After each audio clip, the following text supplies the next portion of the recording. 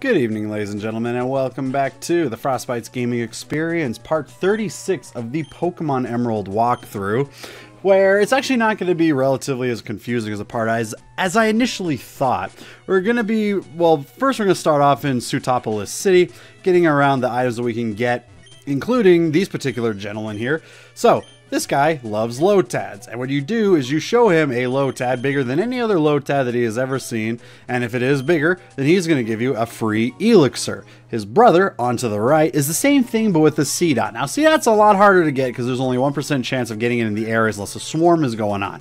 However, another way to get it is by trading for dots. So what I did, I went to Route, one, Route 102 where you can get Lotad and Seedot, and went around for a bit until eventually I ran into a Ralts instead, and I knew that, okay, if I get Ralts, then I can trade it for a Seedot, and just pray that this one Seedot is actually the right size. And it was, got an Elixir there as well, so two free Elixirs.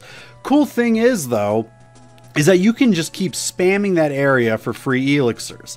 Because if then you continue to show them more of the same type, another Lotad or another Seedot, of a bigger one than the previous one that you showed them, they will give you another elixir until you've hit the maximum size that they can possibly hit, which I don't know what the maximum size for any of them are really. I just kind of went around I remember the first Lotad I got was not big enough, so I actually had I caught like five of them until I found one that was big enough, and it turns out I had four that were actually big enough, and I kind of just kind of traded him with a little bit, and I was like, oh wait, you can just keep on doing this infinitely if you wanted to.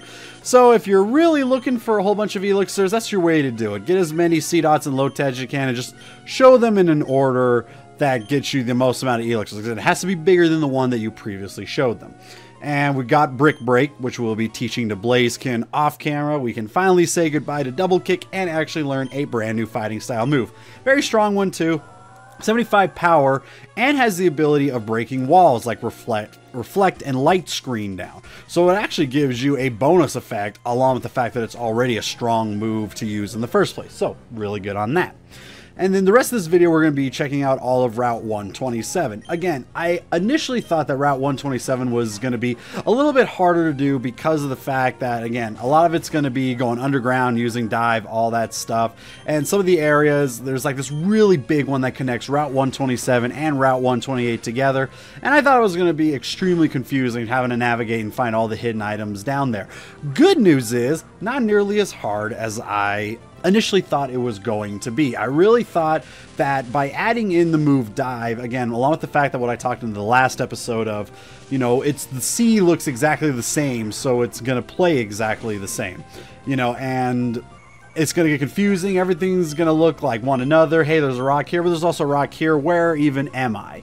Um, and in some cases, it still kind of is that, but not to the extreme that I initially thought it was going to be, including adding in the underground water of, oh, hey, everything underground also looks the same. No, it really kind of doesn't. And so, because of that, uh, Route 127 not nearly as hard as initially thought.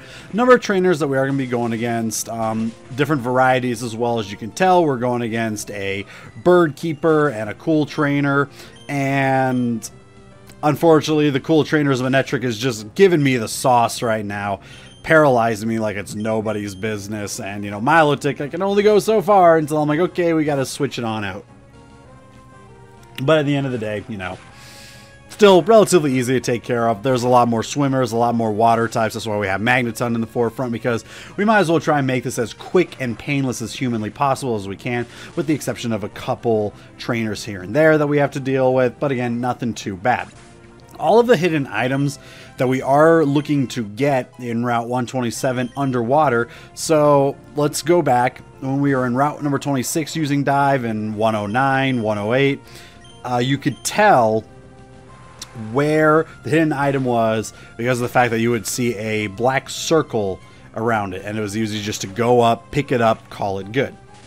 Here, instead of there being a black circle on the ground to showcase where it's at, there is a rock a very distinguishable rock that, you know, only appears underwater if there is an item within it that you can go ahead and pick up. Makes it a lot easier, especially on the fact that they're more laid out. Like, you got uh, mostly like four areas that you can dive in on. Uh, the three main ones, you have one to the left, one to the right, and one in the center. The left and right one, as like what we are looking at with one of the ones I'm going down right now, are not connected to the same center one, which the center one connects down to Route 128. That's where I initially thought it was going to be confusing, as I thought a majority of what I had to find would be in that center route one. It's actually not. It's on the leftmost, the rightmost, and then like another one that leads somewhere else. So this is the big portion that you can tell just by that one darker blue area. And we go to the other side of it, and we're going to be picking ourselves up the next hidden item with the rock. Now, that doesn't stop me from missing an item, though. Unfortunately, I do actually forget that there is still one more item in the big connection one between Route 127 and Route 128. Uh, easy to get to though, so by the time I start the next part, the first thing I'll do is go out of my way to get that item before continuing on with the next part. Because all we're doing, we're getting Route 127 out of the way, and then we're going to deal with Team Aqua in the next part. After Team Aqua, we'll deal with Route 128, and then really try and move the story from there on out. So things are moving into progress. And again, a little bit faster than anticipated. I really, really thought that Route 127, Route 128, all that was going to be a huge pain in the ass. And based on what I've been doing so far, not nearly as hard as I initially thought. So thank God on that. We're able to get done with it a lot sooner and be out on our way. Aside from that, nothing else really is going to be going on this one part. Again, there's another dive spot um, further on that you have to use in order to access another item in another part of Route 127 that's only accessible by using dive. Kind of like what we did in the last part in Route 126 where we had to use dive to go under that one rock blockage area and then come right back up. Same exact thing here. A little bit easier to see though because Route 127 has all these big areas that you can dive in and only one spot that's small to dive in. So obviously the small spot's what you want to go into and then come up on the other side of the small diving spot, call it good right there. Uh, Pokemon wise, literally the exact same thing we just went through with Route 126. All right, you got your Wailmers, you got your Sharpedos, Magikarps, Tentacools, and then I don't believe actually. So the, the thing about Route 127 is that all the underwater dive spots doesn't have seaweed in it. So we're actually not having any stats on Route 127 at all for the underwater portion of it because again no seaweed nothing to go into. Again every single time you use dive go underwater it doesn't act like it does with surf where now all of a sudden you can be attacked by anything. Nope. Once you dive it has to be seaweed just same it is with tall grass. So there's that. That's really about it. That's all that we got going on here. And um, yeah that's about it. Again, I'm mostly just looking forward to finally getting back to live commentary stuff. I've been having a lot of fun with that. Legacy of Goku 2, getting that all done. And uh, Stardew Valley as well. I know Stardew Valley hasn't been like the most popular thing that I've done on the channel, but I've been having fun with it, and that's all I really, you know, I do this for me. I do it for you guys too. For those of you that actually do enjoy watching it, I do want you guys to be entertained. But there are some games that I just genuinely want to play. I wanted to play Stardew Valley again. It's one of my favorite games, actually. You know, it takes me back to my Harvest Moon days while, while adding in some other aspects, and it's a lot of fun. You know, I've been, I've been enjoying it. Animal Crossing, Harvest Moon, you know, some RPG fighting elements. It's actually a really good, fun, calming time as well. You know, it, it's very relaxing to play a game like that. That's why I've been having fun doing that, uh, doing it for the channel as well. Again, I know a lot of you guys aren't really watching that, but, you know, if you want something really calm, or if you want me to see if you want to see me just play something and being calm while playing it, you know, I can't say that, you know, every other game I do, I'm like wild and crazy and I'm all this kind of weird personality or something like that. That's obviously never been, it's never been really a thing of mine. I just like being me. Now, sometimes I can raise my voice a bit, you know, and get a little bit too hypey, but the hype that I get into is never staged. You know, I, if, I get hype about something, it means I'm legitimately getting hype about it. I'm not doing it just trying get those free clicks and all that stuff. That's not who I am. You know, I'm not that entertaining of a person.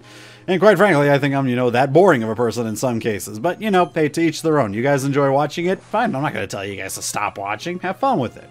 You know, this is just a fun little casual time. And I think that's what Stardew Valley brings as well. It's just a fun, casual little time. You know, doesn't have to be anything too serious. It's just something for fun. Anyways, Mm. So, with the, I don't know, Fisherman Brothers out of the way, not very many more trainers we have to go against. There are two more swimming trainers and then one more fighting trainer as long as getting the item. And then, yeah, that's it. Again, apologies for these episodes that don't really have a whole lot going in them besides trainer fights. But at the same time, when it comes to Pokemon games, a majority of the game is, well, trainer fights. And I know I could be going through this a lot faster, but again, the way I prefer to do these, I want to showcase every fight and showcase every item. And this is going to be a little bit longer than your casual you know, let's play or walkthrough of Pokemon games where their main goal is just to try and beat it as, or even a speed run, beat it as quickly as you can. You know, I I prefer showcasing everything. You know, I'm a uh, not not to like take the guy's trademark or anything like that, but I'm a completionist, all right. but not like I mean, obviously you know making jokes and whatnot, but for real though, usually when I play certain RPG style games, which I consider Pokemon to be, I kind of do want to go out of my way and do everything that I possibly can within the game. So in Pokemon's case, that means actually trying to find every item and battle every trainer. Now, outside of that, when it's just me playing and not recording for YouTube, that also means going on my way and completing the Pokedex, catching every single Pokemon as best I can, you know, stuff like that. Um, but when it comes for the channel, there's plenty of other channels that do stuff like that. And I'm pretty sure there's also some channels out there that do showcase the location of every item and the location of every single trainer. I'm not exactly sure. I haven't seen it myself. In most cases, it's someone just playing Pokemon, especially lately. Oh my god, not to go into a huge rant about it, but uh, me and my friends were talking about it recently, and oh my god, I am so tired of seeing everywhere that I go. Whoa, hang on a second. Getting a little bit weird thing with my microphone. Oh, okay, I think we're good. I am so tired of seeing all these YouTube videos. It's like, oh, beating Pokemon with just this. Beating Pokemon just using a Pikachu. Beating Pokemon just using a Caterpie or something like that. I'm sorry, I am sick and tired of seeing those. I don't care. I don't care that you can beat Pokemon just using one Pokemon. Have fun with it. For one thing, you're lying. You know, let's just get that out of the way right now. Any video that says beating Pokemon with just this one Pokemon, they're absolutely lying to you. Here's why. Because it is impossible to beat the entire game just using one Pokemon. You have to have your HM bitches. Now, I'm assuming that with the whole only thing, that's a rule where it's like, oh, the only only thing about it is that it's the only Pokemon fighting. We need other Pokemon for HMs, but it's the only Pokemon fighting.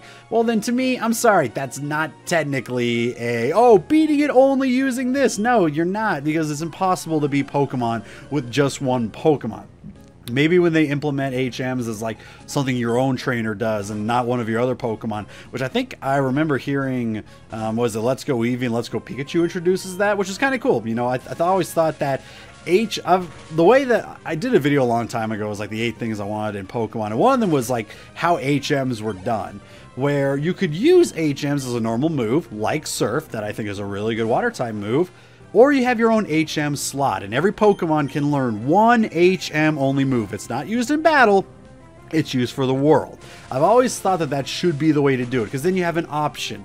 You know, you can use the HM as an actual move if you so wish, but you don't have to because you have a fifth slot that's meant for your, you know, exploration HMs. But from what I hear, they kind of implemented a new way, and I don't know if it was any earlier than this, but I remember hearing about it in Let's Go Eevee, Let's Go Pikachu, where you, the trainer, get like the items, you know, instead of having to learn the, there's the rock that I go right past. How did I miss it? Maybe I thought I already picked it up or something. I don't know, but we'll be going back to get that hidden item in that rock that I just completely ignore.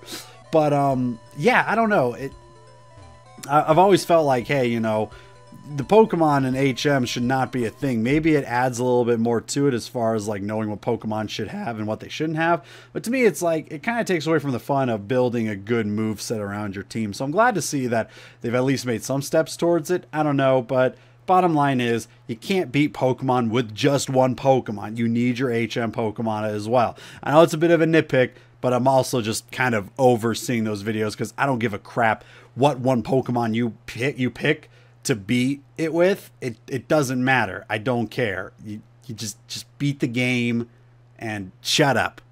That's all there is to it. Anyways, with that said, ladies and gentlemen, I hope you enjoy the rest of your evenings, and we will catch you all in the next part.